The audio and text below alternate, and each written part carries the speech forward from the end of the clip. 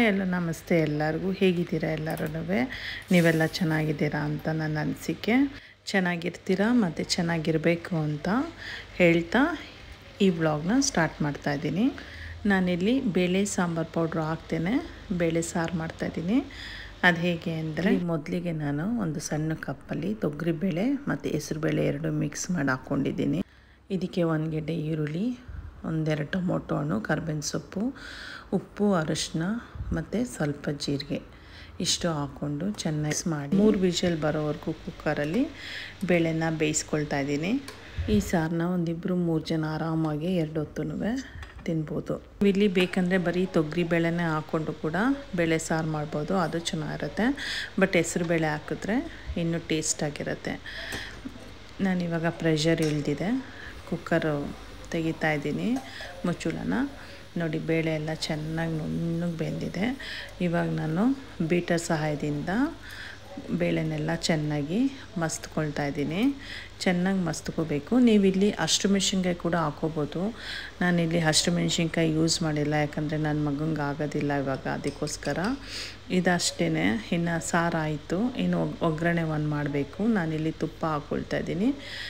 ಬೇಕಂದರೆ ನೀವು ಎಣ್ಣೆ ಕೂಡ ಹಾಕ್ಕೊಳ್ಬೋದು ಮತ್ತು ಇಲ್ಲಿ ಸಾಸಿವೆ ಜೀರಿಗೆ, ಎರಡು ಹಾಕ್ಕೊಂಡಿದ್ದೀನಿ ಅವೆರಡೂ ಚಟಪಟ ಅಂದಮೇಲೆ ಸ್ವಲ್ಪ ಕರ್ಬೇವಿನ ಸೊಪ್ಪು ಮತ್ತು ಒಂಚೂರು ಈರುಳ್ಳಿ, ಒಂದು ಅರ್ಧ ಈರುಳ್ಳಿ ಸಣ್ಣದಾಗಿ ಕಟ್ ಮಾಡಿ ಅದು ಕೂಡ ಸೇರಿಸ್ಕೊಂಡಿದ್ದೀನಿ. ಇದಿಷ್ಟು ಸ್ವಲ್ಪ ಫ್ರೈ ಆಗಬೇಕು. ಇಲ್ಲಿ ನಾನೊಂದು ಸ್ವಲ್ಪ ಕೊತ್ತಂಬರಿ ಸೊಪ್ಪು ಉದುರಿಸ್ಕೊಂಡಿದ್ದೀನಿ. ಈ ಕೊತ್ತಂಬರಿ ಸೊಪ್ಪು ಉದುರಿಸ್ಕೊಂಡು ಒಂದು ಸಲ ಮಿಕ್ಸ್ ಮಾಡಾದ ನಂತರ ಈ ಒಗ್ಗರಣೆ ಯಾವ ಮಾಡ್ಕೊಂಡಿದ್ವಲ್ಲ, ಆ ಒಗ್ಗರಣೆನ ಸೇರಿಸ್ಕೋಬೇಕು ಸಾರಿಗೆ. ಒಂದು ಸಲ ಒಗ್ಗರಣೆ ಆಯಿತು ಅಂದರೆ ಬೇಳೆ ಸಾರು ರೆಡಿ ಆಗುತ್ತೆ. ಈ ಥರ ಸಾರು ಮಾಡಿದ್ರೆ ವಯಸ್ಸಾದವರು, ಚಿಕ್ಕ ಮಕ್ಕಳು ಎಲ್ಲರೂ ತಿನ್ಬೋದು. ನೋಡಿ, ಇವಾಗ ನಾನು ಮೂರು ಥರ ತರಕಾರಿ ಇಟ್ಕೊಂಡಿದ್ದೀನಿ. ಗೆಡ್ಡೆಕೋಸು ಒಂದು ಕ್ಯಾರೆಟು, ಒಂದು ಇಡಿಯಷ್ಟು ಬೀನ್ಸು. ನಾನಿಲ್ಲಿ ಒಂದು ಆರು ಏಳು ಗೆಡ್ಡೆಕೋಸು ಸಣ್ಣದು ತೊಗೊಂಡಿದ್ದೀನಿ. ಈ ಥರ ಸಣ್ಣದಾಗಿ ಕಟ್ ಮಾಡಿ ಅದನ್ನ ತರಕಾರಿ ಮುಳುಗೋಷ್ಟು ನೀರನ್ನ ಸೇರಿಸ್ಕೊಳ್ತಾ ಇದ್ದೀನಿ. ಇದಕ್ಕೊಂದು ಸ್ವಲ್ಪ ಉಪ್ಪು ಹಾಕಿ ತರಕಾರಿನ ಬೇಯಿಸ್ಕೊಂಡಿದ್ದೀನಿ. ಇವಾಗ ಬೇಯಿಸ್ಕೊಂಡಿರೋ ತರಕಾರಿನ ನೀರಿಂದ ಸಪ್ರೇಟ್ ಮಾಡ್ತಾಯಿದ್ದೀನಿ ಈ ನೀರನ್ನ ಬಿಸಾಕಕ್ಕೆ ಹೋಗಬೇಡಿ, ಯಾಕಂದರೆ ಇದು ಬೇಳೆ ಗಿಳೆ ಬೇಯಿಸ್ಕೊಳ್ಳುವಾಗ ಈ ನೀರನ್ನ ಯೂಸ್ ಮಾಡ್ಕೋಬೋದು. ನೆಕ್ಸ್ಟ್ ಇಲ್ಲಿ ನಾನು ಒಂದು ಬಾಣಲಿ ಇಟ್ಕೊಂಡಿದ್ದೀನಿ.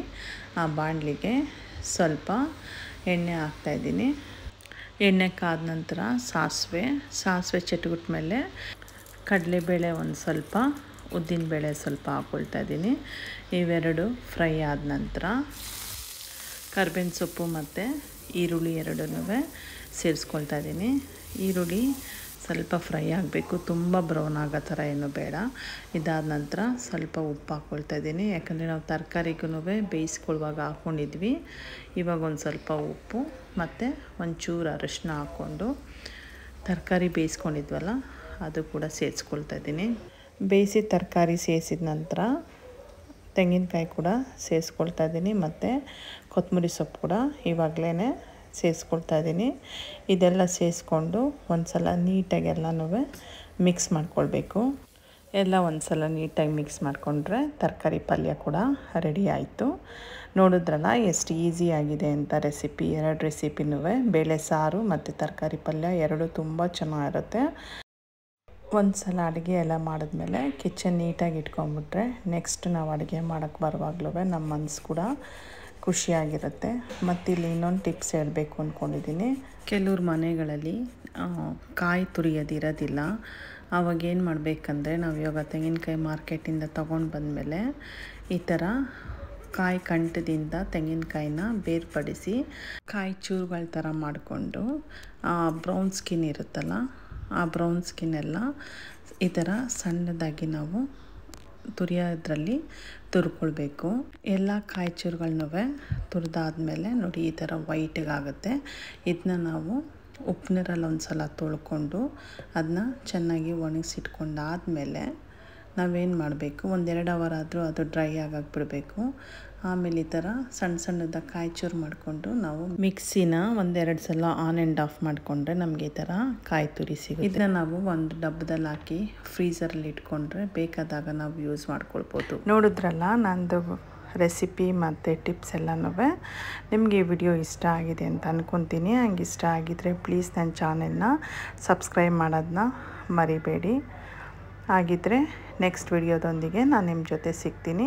ಅಲ್ಲಿವರೆಗೂ take care bye God bless you thank you